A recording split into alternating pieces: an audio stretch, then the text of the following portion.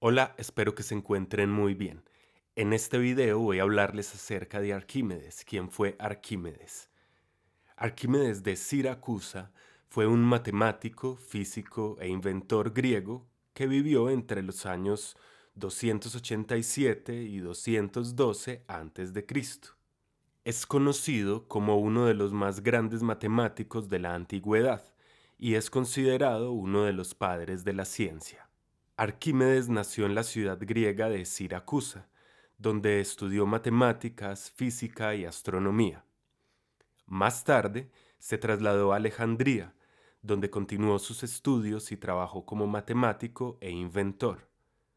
Durante su carrera, Arquímedes escribió numerosos trabajos matemáticos y científicos, incluyendo obras sobre hidrostática, matemáticas, física y astronomía.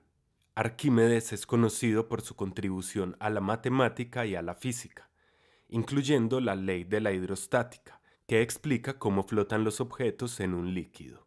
También desarrolló la fórmula para calcular la densidad de un objeto, que se reconoce como el principio de Arquímedes.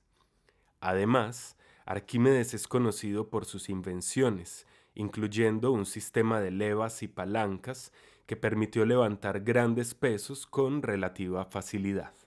En resumen, Arquímedes es considerado uno de los matemáticos más grandes de la antigüedad, y sus contribuciones a la ciencia han sido de gran importancia para el desarrollo de la misma y de la tecnología moderna.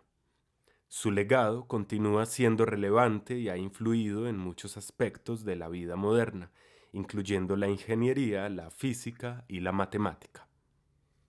Bien, espero que les haya gustado esta reseña acerca de Arquímedes. Recuerden que si tienen algún comentario pueden dejarlo abajo del video en la caja de comentarios.